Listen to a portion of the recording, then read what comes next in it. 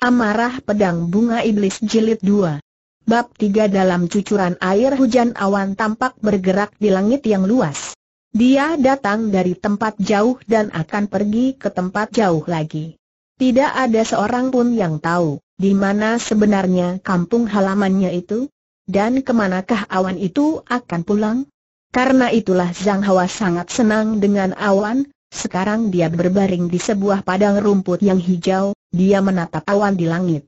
Hari ini adalah bulan satu tanggal 15, hari ini seharusnya menjadi hari yang paling disenangi oleh gadis-gadis seumurnya, tapi dia malah lebih memilih berbaring di padang rumput yang sepi ini. Setiap kali pada saat Imlek atau Hari Raya, dia selalu bersembunyi di tempat jauh, bersembunyi dari suasana Imlek dan bersembunyi dari langit. Apalagi hari ini. Pagi-pagi dia sudah keluar dari rumah, dia pergi ke tempat ini, tidak ada seorang pun yang tahu ke mana dia pergi, kemudian dia berbaring di sana hingga sekarang. Gumpalan awan sudah beberapa kali berubah bentuk, berubah menjadi bentuk yang bermacam-macam, tapi posisi berbaringnya tidak pernah berubah.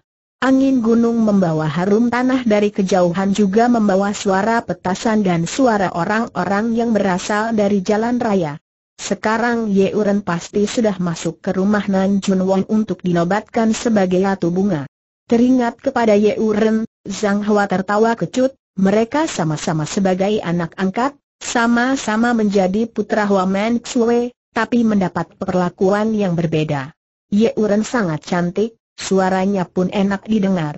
Jika dia berbicara, orang yang melihatnya pasti akan langsung suka kepadanya. Ibu angkat Wamen Xue pun sangat sayang kepadanya. Diberikan kepadanya baju bagus, makanan enak, dan mainan yang indah, kamarnya pun mewah dan bagus. Bagaimana dengan Zhang Hua? Semua barang yang diperoleh Zhang Hua pasti barang bekas bukan barang bekas yang pernah digunakan oleh Ye Uren, melainkan orang lain yang sudah tidak memakainya lagi. Barang yang sudah dipakai oleh Ye Uren semua langsung dibuang, tidak akan diberikan kepada Zhang Hua. Lima tahun yang lalu, Hua Men Xue mulai melatih Ye Uren untuk menjadi Ratu Bunga. Dan sekarang keinginan Ye Uren menjadi Ratu Bunga telah tercapai. Tahun ini yang mendapat julukan Ratu Bunga adalah Ye Ye Uren tidak pernah membuat Men Xue kecewa. Apa pun yang dilakukan oleh Ye Uren tidak pernah membuat orang menjadi kecewa, sepertinya dia ditakdirkan untuk disayang oleh orang-orang di sekitarnya. Sebaliknya Zhang Hua sepertinya ditakdirkan untuk dibenci orang. Dia anak yang nakal, sering membuat ulah, melakukan apa saja yang membuat orang tidak akan menduganya sehingga membuat orang pusing sampai tiga hari. Karena itulah orang-orang di kota Jinan lebih menyukai Ye Uren, terkecuali si Gilahu. Dia satu-satunya teman Zhang Hua. Tidak ada orang yang ingin berteman dengan Zhang Hua. Dia seperti dewa penyakit. Siapa yang mendekatinya akan tertular olehnya. Tapi Zhang Hua pun menyukai keadaan seperti itu, dia bisa bermain dengan bebas seorang diri, semua terasa sangat ringan dan tidak terkekang, melakukan NPA pun tidak ada yang melarangnya, juga dia tidak perlu melakukan sesuatu untuk seseorang yang tidak dia senangi. Zhang Hua percaya kalau kehidupan Ye Uren pasti tidak nyaman. Walaupun wajah Zhang Hua terlihat sedih dan bosan namun sebenarnya hidupnya lebih senang dari siapa pun dan dia tidak pernah memikirkan masalah yang bisa membuatnya pusing. Tapi mengapa hari ini dia merasa bosan? Dia sendiri pun tidak tahu apa sebabnya. Yang penting, hari ini dia tidak merasa serba salah. Awan di langit berubah menjadi seperti seekor burung bangkai yang sedang memakan orang.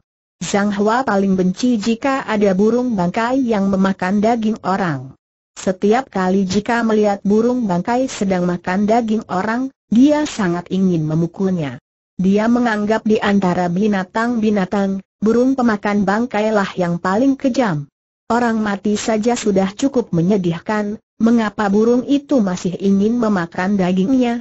Awan hitam seperti burung pemakan bangkai yang besar dan sedang terbang melayang di atas langit. Tiba-tiba di langit terlihat kilatan petir, kemudian guntur pun berbunyi seperti genderang yang dipukul dari jauh. Turunlah Zhang Hua berkata sambil tetap berbaring dan tidak bergerak, biarlah hujan mencuci debu-debu yang menempel di bumi ini, hujan mulai turun. Awalnya hanya hujan rintik-rintik, kemudian semakin lebat terakhir seperti air terjun yang ditumpahkan dari langit. Zhang Hua tetap tidak bergerak, hanya matanya kemasukan air hujan dan tidak bisa dibuka. Hujan semakin lebat, tapi hatinya terasa semakin lega dan nyaman. Hujan ini datang tepat pada waktunya. Hujan itu membersihkan debu-debu dan juga membersihkan keresahan yang ada di dalam hati Zhang Hua. Pada saat dia merasa matanya tidak bisa dibuka karena siraman air hujan, tiba-tiba dia melihat di dalam hujan lebat itu ada seseorang sedang berjalan ke arahnya. Semenjak keluar dari warung nasi itu, Ren Piaoling berjalan terus walaupun hujan membasahi badannya dan wajahnya, tapi dia tetap terus melangkah. Air hujan mengalir melewati wajahnya dan turun ke leher kemudian masuk ke dalam baju dan celananya, kemudian keluar lagi dan jatuh ke tanah. Yang masuk mengalir keluar, diganti air yang baru masuk lagi, Ren Piaoling terus berjalan hingga ke pegunungan yang penuh dengan rumput hijau. Kemudian dia melihat ada seseorang yang sedang duduk di padang rumput itu. Seseorang seperti baru keluar dari sisi neraka. Melihat ada orang sedang hujan-hujanan, hati Zhang Hua lebih senang lagi. Di dunia ini ternyata masih ada orang selucu itu. Orang yang senang berhujan-hujanan pasti ada bagian yang lucu. Ini adalah salah satu cara Zhang Hua melihat orang. Hai, apa kabar Zhang Hua dengan senang menyapa orang itu? Siapa kau waktu itu Ren Piaoling tepat berada di pinggir Zhang Hua. Sepasang matanya yang malas melihat Zhang Hua dengan ekspresi tertarik. Zhang Hua pun sedang melihatnya. Siapa kau dia tidak menjawab malah balik bertanya. Pertanyaanku belum dijawab, bolehkah pertanyaan tadi aku tunda dulu Zhang Hua bertanya. Boleh, kalau begitu aku ingin bertanya sekali lagi, siapakah kau tanya Zhang Hua? Apakah pertanyaan boleh tidak kujawab boleh? Zhang Hua tertawa lagi, kalau begitu, kau tidak akan mendapatkan jawaban dari pertanyaan yang kau tanyakan tadi, Ren Piaoling tertawa.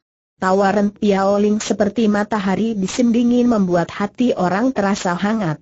Sewaktu dia sedang tertawa dia benar-benar terlihat jelek, tapi memiliki daya tarik yang tidak bisa dikatakan dan dijelaskan. Ini adalah komentar terakhir yang diberikan oleh Zhang Hua. Ren Oling, Hua Zhang Hua, dia duduk. Dia duduk di sisi Zhang Hua. Hujan mulai mengecil, awan hitam pun mulai menghilang. Siapa yang menyangka pembunuh terkenal dan termahal di dunia persilatan pun senang berhujan-hujanan, kata Zhang Hua. Orang terkenal pun harus makan, Ren Piaoling berkata dengan santai, Apalagi berhujan-hujan seperti ini bisa membuat perasaan menjadi lebih jernih, apakah otak sering terasa tidak jernih dan pusing dalam satu bulan selama 24-25 hari, keadaanku seperti itu, jawab Ren Piaoling. Mana mungkin kata Zhang Hua tidak percaya, aku melihat bukan seperti orang yang sering mabuk, di dunia ini kecuali arak, masih ada satu macam urusan yang bisa membuat otak orang menjadi pusing, apakah itu lapar? Lapar Zhang Hua seperti terkejut, apakah kau sering kelaparan benar? Dia tertawa, paling sedikit sudah setengah bulan ini, apakah kau lupa makan sehingga tidak bisa mengobati rasa lapar? Aku tidak lupa, jawab Rentia Oling, Masalahnya aku ingin makan tapi tidak bisa, mengapa apakah kau lupa makan pun harus membayar? Apakah kau tidak mempunyai uang? Kau tidak percaya dengan perkataanku pembunuh termahal di dunia persilatan tidak mempunyai uang untuk membeli makanan? Tanya Zhang Hua, siapa yang akan percaya semua ini? Aku, jawab Rentia Oling, kecuali aku, semua orang akan berpikir seperti, lalu uang yang kau dapatkan kau kemanakan digunakan, dengan care apa kau mempergunakannya? Makan, minum, main, dan bersenang-senang, apakah kau tidak bisa lebih irit memakainya ini pun sudah cukup irit, jawab Ren Piaoling sambil tertawa. Setiap kali bisa mendapatkan keuntungan sebanyak 50 tael, dalam waktu tiga hari aku baru menghabiskan 50 tael itu, apa 50 tael tanya Zhang Hua terkaget-kaget, apakah setiap kali harga yang kau keluarkan adalah 50 tel untuk membunuh? Benar? Menurut gosip yang beredar di dunia persilatan, kau adalah pembunuh termahal, kata Zhang Hua, apakah harga yang paling mahal adalah 50 tel tidak juga, mengapa harga yang kau patok hanya 50 tel karena orang yang berharga semakin sedikit. Orang yang berharga tanya Zhang Hua, apakah kau membunuh orang pun ada tingkatan harganya itu sudah pasti, Ren Piaoling dengan santai berkata, ada sebagian orang yang memberi sepuluh ribu tel pun belum tentu aku mau membunuhnya.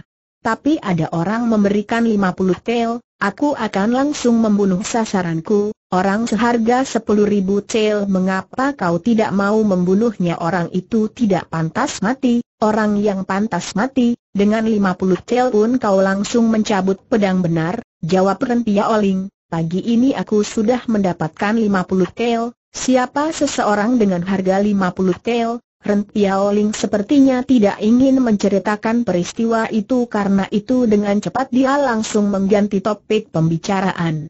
Perempuan seumurmu seharusnya banyak mempunyai janji, mengapa kau ada waktu untuk berhujan-hujan di sini benar?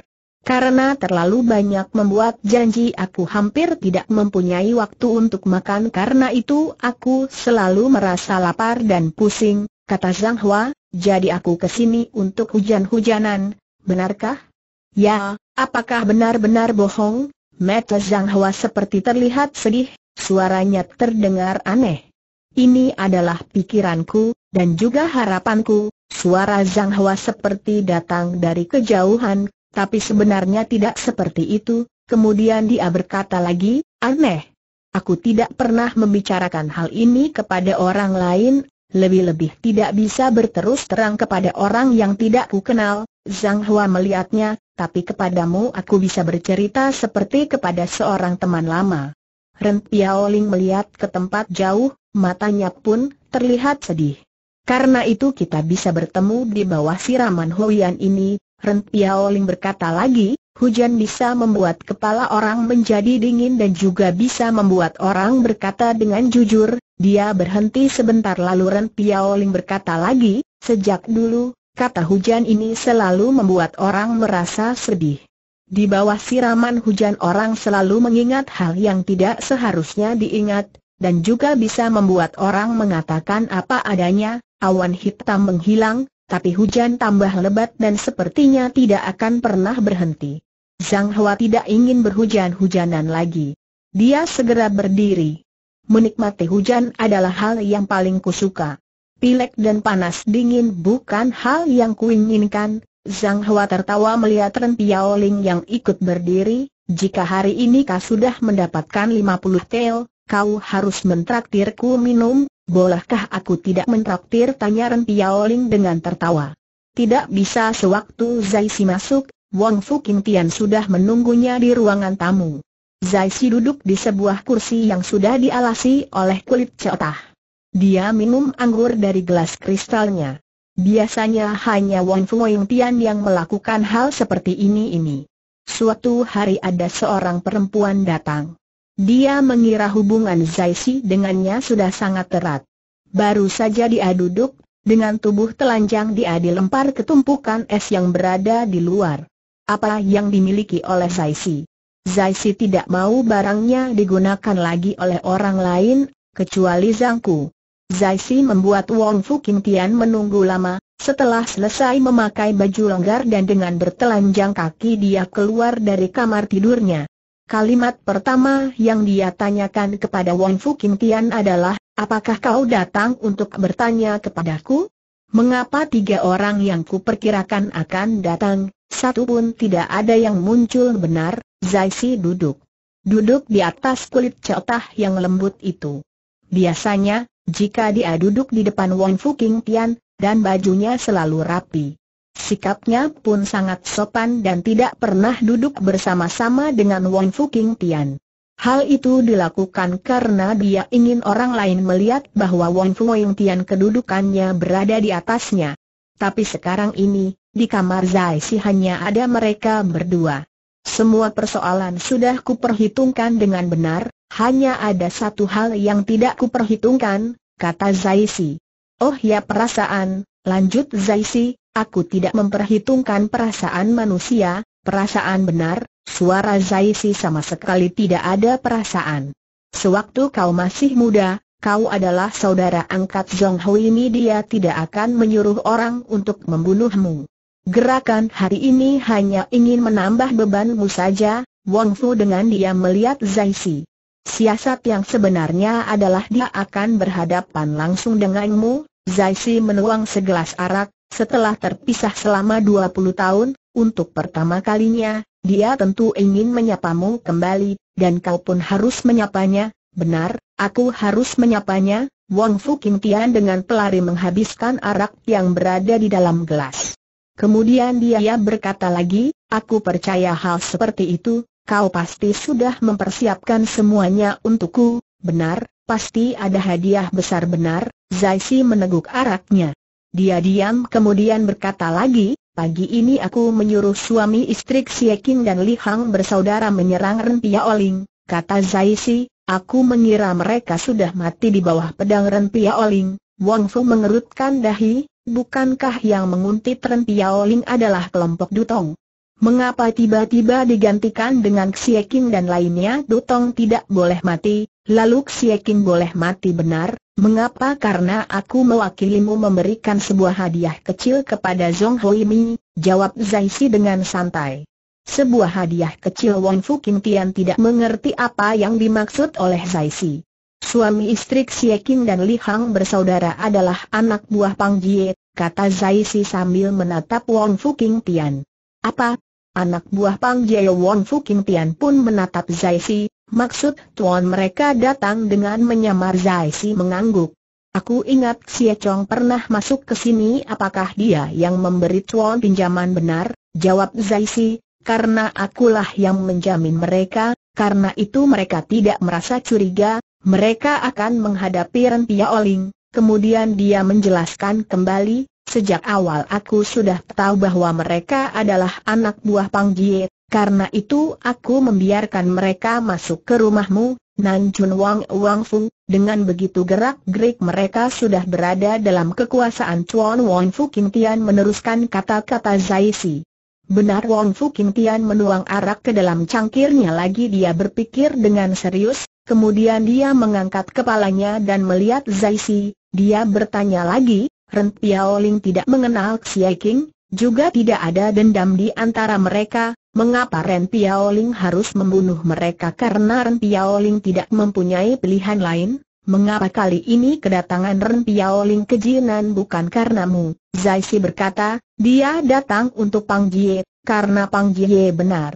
Dia kejahilan untuk membunuh Pang apakah dia mempunyai dendam kepada Pang? Tidak. Benci tidak. Wang Fu King Tian menatap Zai Si, sepatah demi sepatah kata dia berkata lagi, Ren Piaoling ingin membunuh Pang Jie karena ada yang menyuruhnya membunuh Pang Jie. Benar, jawab Zai Si, dia hanya berharga 3000 rel, apakah orang yang memberikan harga ini adalah kau? Benar? Wang Fu King Tian terdiam lagi, Kali ini dia tidak minum arak, dia tidak melepaskan pandangannya dari Zaisi, dia menatap Zaisi cukup lama, kemudian dengan pelan dia berkata, kau tidak pernah bertemu dengan Pang Jie, mengapa kau tahu keberadaannya aku tidak tahu, Zaisi tertawa. Tapi aku percaya Ren Piaoling bisa menekan Pang Jie, ini adalah hadiah besar yang akan kuberikan kepada Zhong Ho ini dan kau yang mewakiliku untuk memberikan hadiah ini kepadanya benar. Bab 4 Tuan Bai yang senang menjamu sayurnya hanya sayur biasa, tapi arak sudah habis 12 botol. 12 botol arak dari Sao Xing. Zhang Hua menghabiskan tetes terakhir dari botol ke-12, dia menggoyang-goyangkan botol itu kemudian menghela nafas, sepertinya hari ini hanya bisa minum sampai di sini, sepertinya Zhang Hua ingin minum lagi. Kau masih ingin minum? Tanya Ren Piaoling sambil tertawa, Kau masih belum merasa puas satu orang mendapatkan enam botol, kata Zhang Hua, itu hanya terasa di celah gigi saja, belum puas minum arak, itu memang hal yang sangat disesali, Ren Piaoling menghela nafas lagi, tapi sayang aku hanya memiliki 50 tel, hanya bisa membeli 12 botol arak, dia mengambil cawan arak kemudian mendekatkan arak itu ke hidungnya, dia mencium harum sisa arak dan berkata, aku nasihati dirimu, sayangilah cawan ini, walaupun belum puas minum. Tapi paling sedikit kau sudah mencobanya, Ren Piaoling tertawa, setelah aku mendapatkan uang lagi aku akan mengundangmu minum sepuasnya, tidak bisa, tiba-tiba Zhang Hua berkata seperti itu. Mengapa tidak bisakah sudah mentraktirku minum dengan menggunakan seluruh uang terakhirmu, aku tidak akan membiarkanmu pergi begitu saja, Zhang Hua berkata dengan serius, paling sedikit biarkan aku yang mentraktirmu 50 cel larak lagi, kau akan mentraktirku benar, Apakah kau mempunyai uang sejumlah 50 cel tidak punya? Kalau begitu bagaimana caramu mentraktir Kuren Piaoling tertawa, apakah pemilik rumah makan ini adalah temanmu bukan? Zhang Hua ikut tertawa, dia bukan temanku tapi dia adalah anakku, musim dingin telah berlalu, tapi rasa dingin masih terasa. Hari ini hati Hu Bai merasa sangat senang, karena itu hari ini dia mengenakan mantel baru yang terbuat dari kulit kelinci. Mantel ini dia dapatkan dari hasil memenangkan taruhan. Dia mengenakan mantel baru ini dan duduk di kursi kasir, sambil tersenyum dia menatap setiap tamu yang masuk. Tapi senyum ini hanya bertahan hingga tamu ketujuh. Karena pada saat tamu ke-8 dan ke-9 memasuki rumah makannya, senyumnya langsung menghilang, dan kepalanya terasa membesar hingga tiga kali lipat. Tamu ke-8 dan tamu ke-9 itu tak lain adalah Zhang Hua dan Ren Pia Oling, dia tidak mengenal Ren Pia Oling, tapi Zhang Hua yang membuat kepalanya terasa membesar. Apalagi setelah Zhang Hua minum enam botol arak dari Sao Xing. Kepala Hubu Bai semakin membesar karena Zhang Hua sedang tersenyum gembira ke arahnya. Apa kabar? Apakah keadaanmu baik-baik saja dengan gembira Zhang Hua menyapa Hubu Bai? Keadaanku tidak baik, suara Hubu Bai seperti akan segera menangis. Kau tahu, bila aku bertemu denganmu, aku merasa sial karena perasaanku menjadi tidak baik, mulai hari ini kau akan baik-baik saja, kata Zhang Hua, karena aku sudah mengambil suatu keputusan, Keputusan mengenai apa keputusan untuk tidak makan dan minum dengan gratis di rumah makanmu, apakah benar ya? Benar apakah karena kau sudah mempunyai banyak uang orang sepertiku mana bisa mempunyai banyak uang? Hu Bubai melihat Ren Piaoling yang masih duduk di kursi itu, dan berkata lagi kepada Zhang Hua, apakah temanmu itu idiot? Apakah dia mirip orang idiot? Tidak. Hu Bubai menggelengkan kepalanya, kau tidak mempunyai banyak uang lalu temanmu bukan idiot, kau masih seperti dulu masih miskin dan kau pasti akan kembali seperti dulu lagi, datang ke sini untuk makan dan minum dengan gratis, tidak, kata Zhang Hua, aku sudah mengatakan mulai hari ini aku tidak akan makan dan minum dengan gratis lagi di sini, tawa Zhang Hua kelihatan sangat senang. Dia berkata lagi, aku mengambil keputusan mulai hari ini semua makanan dan minuman yang kupesan dicatat sebagai hutang, hutang yang dicatat Hubu Bai hampir menangis. Siapa pun yang mendengar kata-kata ini pasti akan berekspresi seperti itu. Bukankah kali ini pun kau makan dan minum dengan gratis tidak sama? Jawab Zhang Hua, mengapa bisa sama siapa yang mengatakan tidak sama Hubu Bai Intnua kecut, kau akan membayar hutangmu dengan apa uang? Jawab Zhang Hua, pasti akan kubayar dengan uang. Apakah sekarang kau mempunyai uang jangan menghina orang, kata Zhang Hua, aku panti akan menjadi orang makmur. Begitu aku makmur semua hutang-hutangku akan kubayar dan aku akan mentraktirmu makan juga, asal kau tidak makan di sini, aku sudah merasa puas. Aku tidak berani menyuruhmu mentraktirku, kata Hubu Bai. Di meja ada dua macam sayur dan dua belas botol arak. Sayurnya hanya sayur biasa. Araknya tetap arak dari Saoxing. Zhang Hua menuang secangkir arak untuk Rempia Oling, kemudian secangkir teh untuk dirinya sendiri. Ini adalah dua macam sayur terbaik di sini, jelas Zhang Hua, aku berharap kau jangan marah, selama tiga bulan ini sayur inilah sayur yang paling ku suka, Mengapa harus marah tanya Ren Piaoling aneh. Zhang Hua mengangkat cangkirnya dan berkata, mari kita bersulang, Nanti kalau di jalan bertemu dengan orang mabuk, dia adalah teman kita, baik, kata-kata yang baik dan bagus. Karena kata-katamu bagus, aku harus mentraktir kalian, kalimat ini bukan diucapkan Rempia Oling, bukan pula Hubu Bai. Yang bicara adalah seorang pemuda berbaju putih. Dia berdiri di depan pintu. Setelah selesai bicara dia langsung duduk di sisi Zhang Hua. Bos, ambil 18 botol arak lagi, harus arak yang paling bagus, kata pemuda berpakaian putih itu, dan aku meminta arak ZHUY Eking yang sudah tersimpan selama 40 tahun, kemudian dia berkata lagi, harus ditambah lagi dengan beberapa macam sayur, dan, dan sayur yang paling enak, Selazang Hua mewakili pemuda ini bicara.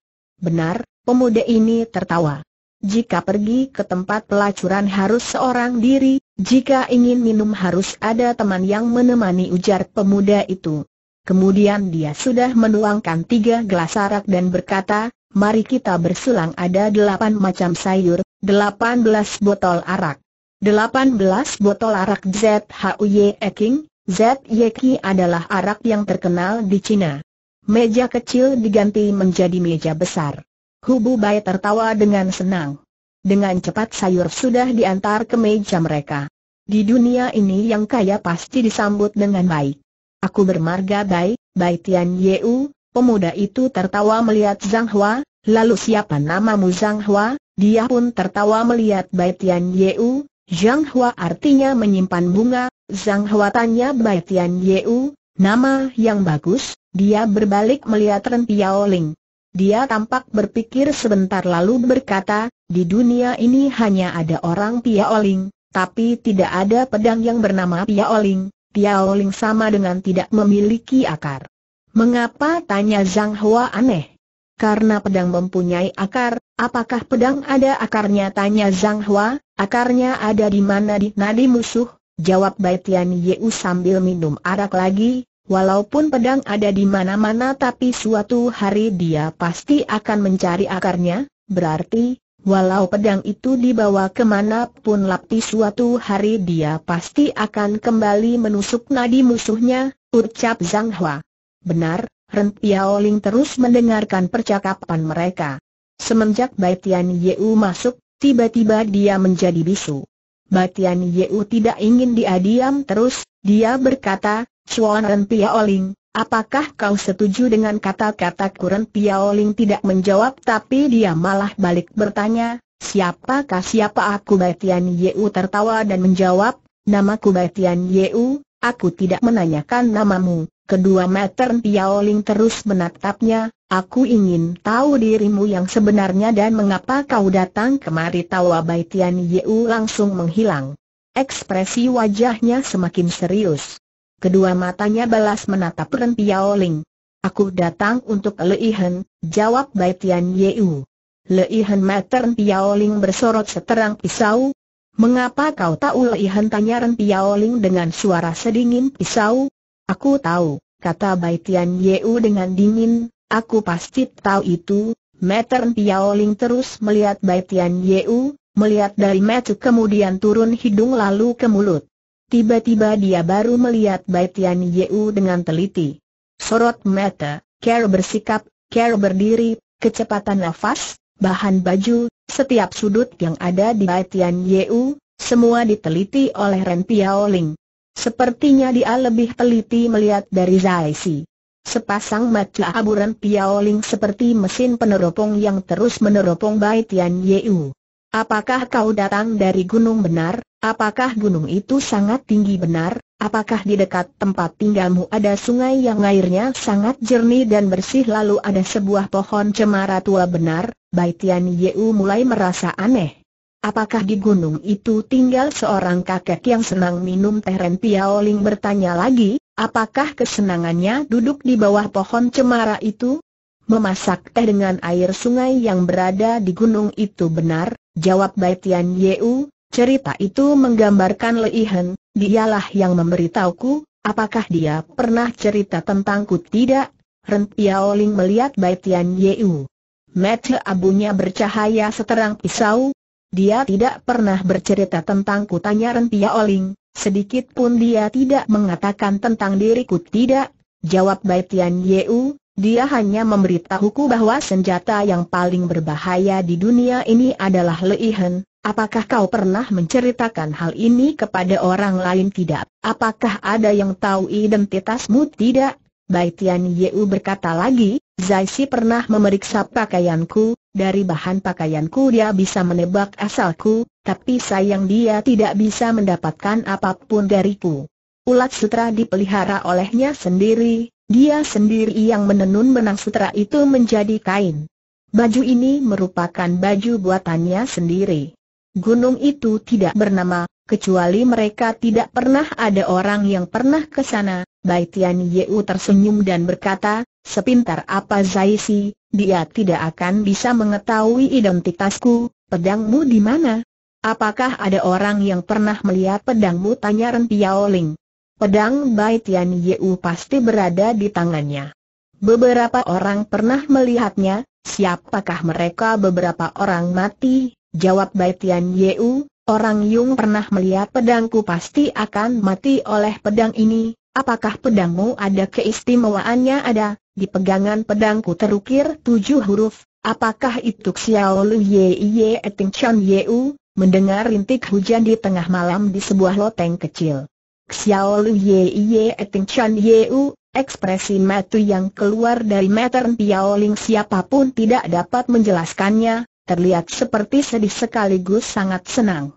Chan Yeu, Chan Yeu, ternyata di dunia ini benar-benar ada pedang seperti ini, Ren Piaoling berkata pada dirinya sendiri, mengapa di dunia ini harus ada pedang semacam itu ada Leihen, pasti ada Chan Yeu, aku tahu pedang yang dipakai Batian Yeu adalah Chan Yeu tapi apakah Leihen itu tanya Zhang Hua, mengapa Leihen adalah senjata yang paling menakutkan. Seperti senjata apakah itu Baitian Yeu tidak menjawab. Dia melihat Ren Piaoling. Zhang Hua pun ikut melihat Ren Piaoling. Dia menunggu jawaban dari Ren Piaoling. Dengan pelan Ren Piaoling menuangkan arak dan meminumnya dengan berlahan. Matanya menatap gunung tinggi yang berada di tempat jauh. Setelah lama dia baru berkata, Leihan adalah sebuah pedang, pedang tanya Zhang Hua, mengapa pedang itu disebut Leihan, pedang tetesan air mata karena di punggung pedang ini terdapat bekas air yang bentuknya aneh, jawab Ren Piaoling, Bekas itu seperti bekas air mata, leihen, ulang Zhang Hua, pedang yang membunuh orang. Mengapa disebut leihen sewaktu pedang itu baru keluar dari tungku api, jika ada air mata yang menetesi pedang itu, maka akan meninggalkan leihen selama-lamanya dan tidak bisa dihilangkan. Leihen siapakah itu? Itu adalah leihen milik Xiao Dasi, jawab Ren Piaoling. Di dunia ini hanya ada satu Xiao Dasi, pada saat pedang baru selesai dibuat, itu sudah membuat para durjana dan dewa takut kepada pedang itu. Aku baru mengerti hal itu, kata Zhang Hua, tapi aku tidak mengerti mengapa demi pedang itu Xiao Desi meneteskan air matanya karena dia sangat ahli membuat pedang dan juga ahli melihat bagaimana nasib pedang itu nantinya. Suara Ren Piaoling dipenuhi dengan kesedihan, begitu pedang baru saja dikeluarkan dari tungku, Xiao Desi bisa melihat bahwa pedang itu akan membawa kesialan yang tidak dapat terlukiskan, pembawa sial seperti apa bukankah tadi kau sudah mengatakannya, pada saat pedang itu diciptakan, para durjana dan dewa pun takut kepada pedang itu. Pedang itu baru keluar dari tungku tapi sudah mengandung mantra dan dosa dari bumi dan langit, Ren Piaoling menarik nafas dan berkata lagi, jika pedang itu dikeluarkan pasti pedang itu akan melukai orang dan akan menjadikan orang terdekat dengan Xiao Desi menjadi tumbal. Orang yang terdekat dengan Xiao Desi adalah putranya bukan benar, kata Ren Piaoling dengan sedih. Sewaktu pedang itu keluar dari tungku, Xiao Desi sudah tahu bahwa putra tunggalnya akan mati karena pedang ini. Mengapa dia tidak memusnahkan saja pedang ini? Dia tidak berani dan tidak tega, karena di dalam pedang itu terkumpul pikiran dan darahnya, dia pasti tidak akan tega untuk memusnahkannya, Zhang Hua seperti sangat mengerti hal ini. Tapi yang tidak ku mengerti, mengapa dia tidak berani memusnahkannya. Keinginan Tuhan tidak sama dengan keinginan manusia. Kekuatan Tuhan tidak bisa kita tebak dan Tuhan sudah mengatur semuanya, tenaga manusia tidak akan bisa menolak keinginannya. Meter Piaoling bersorot penuh dengan kesedihan, jika Xiao Desi memusnahkan pedang itu mungkin musibah tidak akan menimpa putra tunggalnya, akhirnya dengan care bagaimana Xiao Desi mengurus pedang itu tanya Zhang Hua, Mengapa Leihan bisa sampai ke tanganmu? Aku pernah mendengar di dunia persilatan ada seorang kakek pengasah golok, dia bisa melihat baik atau sialnya sebuah pedang. Melihat dengan sangat tepat seperti dewa, kata Zhang Hua, murid tetua Ksino pasti adalah dia, Ren Piaoling mengangguk dan berkata, murid kedua Xiao Desi adalah Sao Kongzi. Dia mendapatkan ilmu membuat pedang kemudian dia pun menjadi pesilat pedang yang terkenal. Sao Kong Zi Zhang Hua bertanya, apakah dia adalah Li Biegeo, kait perpisahan, Sao Desi benar, jawab Ren Pia Oling, karena mereka adalah orang berbakat. Tapi Xiao Desi menurunkan ilmu pedang kepada murid ketiganya dan leihan itu pun diberikan kepada muridnya itu. Mengapa diturunkan kepadanya? Karena orang itu mempunyai kebesaran yang sangat besar dan juga berhati baik. Sejak lahir dia tidak pernah menginginkan apa pun, tidak menginginkan nama tenar atau keuntungan. Dan tidak pernah membunuh benda bernyawa. Dia telah mendapatkan semua ilmu pedang dari Xiao Dasi, Secara otomatis tidak ada orang yang bisa merebut leihan dari tangannya, kata Zhang Hua, angkatan tua yang memiliki hati begitu baik dan jujur, pasti tidak akan melukai putra tunggal gurunya, benar, karena itu putra tunggal Xiao Desi masih hidup sampai sekarang benar, mengapa leihan bisa jatuh ke tanganmu Zhang Hua bertanya lagi mengenai soal ini. Sorot meter Pia Oling melayang lagi ke tempat jauh, karena, karena aku adalah muridnya murid ketiga dari Xiao Dasi, dia mengatakan cerita tentang pedang itu kepadamu dan juga memberikan pedang itu kepadamu. Benar, jawab Ren Pia Oling, pada saat dia berumur 30 tahun dia sudah menyepi ke gunung. Dia bersumpah tidak akan meninggalkan gunung itu selama dia masih hidup, gunung yang mana itu aku tidak tahu, jawab Ren Pia Oling, tidak ada seorang pun yang tahu. Leihan adalah nama sebuah pedang, mengapa disebut sebagai senjata yang paling menakutkan Zhang Hua bertanya, menakutkannya di bagian mana apakah kau ingin tahu tanya Ren Piaoling. Ingin, ingin sekali, jawab Zhang Hua. Ren Piaoling tiba-tiba menolehkan kepalanya dan bertanya kepada Baitian Yeu. Menanyakan pertanyaan yang tidak ada hubungannya dengan pertanyaan Zhang Hua. Apakah kau tahu dulu Biksu Sangu, mempunyai ilmu pedang 7x7 sama dengan 49 jurus Hui Feng Wuli Ujian yang sangat terkenal, kau tahu pedang yang dipakainya bernama apa? Pedang itu bernama Liu. Waktu itu berat kapak pendekar Luo Ling Kiao berapa kilogram berat kapaknya hanya sekitar 73 kilogram, Baitian Yeu dengan lancar menjawab, dia menggunakan sebelas jurus tapi setiap jurusnya adalah jurus pembunuh. Yang sangat hebat katanya dulu di dunia persilatan tidak ada orang yang bisa melewati tujuh jurusnya, rantai besi arit terbang membunuh orang seperti memotong rumput. Siapakah yang memakai arit besi itu Ren Piaoling bertanya lagi. Pendekar Zanan, jawab Baitian Yeu, katanya senjata itu berasal dari Jepang. Jurusnya sangat misterius. Di Cina senjata seperti ini belum pernah ada yang melihatnya, Pan Guanbi, Penajaksa, Kik Singzen, Jarum Tujuh Bintang, MAC, Tusukan MA, pisau melengkung dari Turki, semua senjata ini pasti memiliki jurus yang istimewa, yang kutanyakan adalah mengapa Leihan bisa menjadi milikmu? Tanya Zhang Hua, aku tidak menanyakan senjata lain, tapi leihan milikku ini adalah senjata yang bisa menggantikan senjata-senjata tersebut, kata Ren Piaoling dengan santai.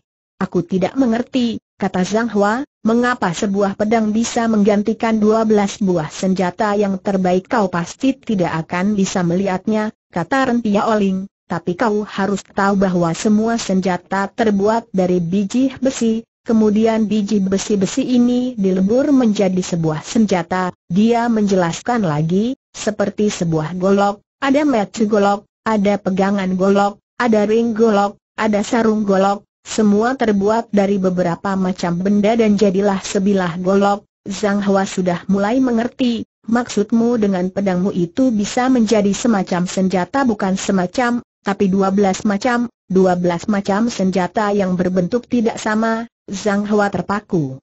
Dia tidak percaya di dunia ini apakah benar ada pedang semacam itu. Dengan keunggulan bisa menjadi dua belas macam senjata yang berbeda-beda, senjata itu bukan senjata biasa, dia bertanya kepada Zhang Hua, apakah kau sudah mengerti sekarang Zhang Hua terpana? Kalau tidak melihat sendiri, apakah ada yang percaya bahwa di dunia ini ada pedang yang begitu rumit? Tapi Zhang Hua harus mempercayainya. Dia menarik nafas dan berkata, Xiao Desi benar-benar sangat berbakat.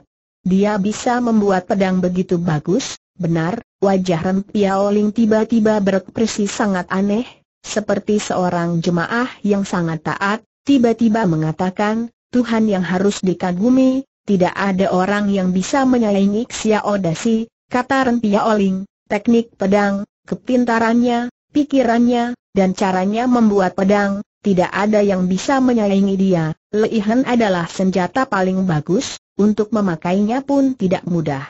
Jika bukan orang yang sangat khusus, pedang itu tidak akan mengeluarkan tenaga dahsyat, kata Baitian Yeu dengan tiba-tiba.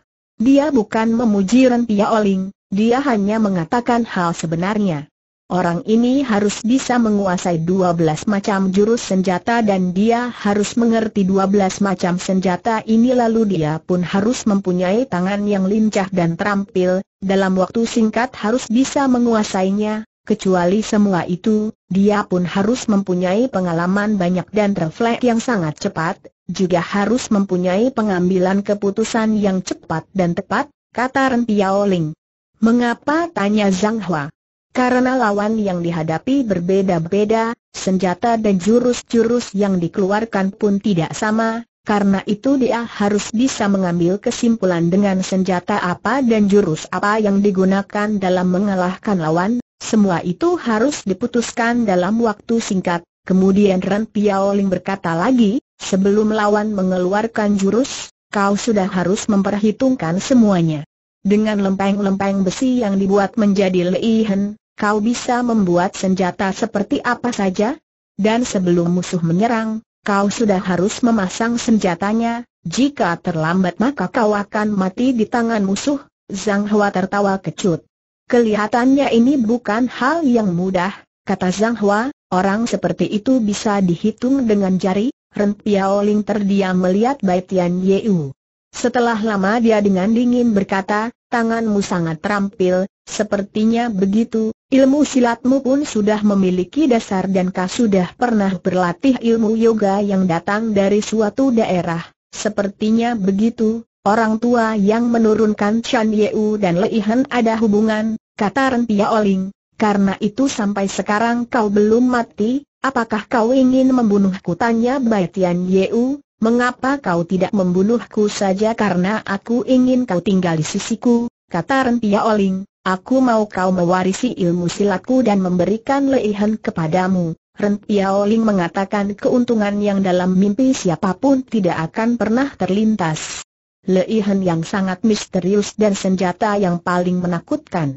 Seorang pemuda yang tidak mempunyai nama tiba-tiba akan mempunyai kesempatan untuk menjadi terkenal nasibnya akan berubah dalam waktu yang singkat ini.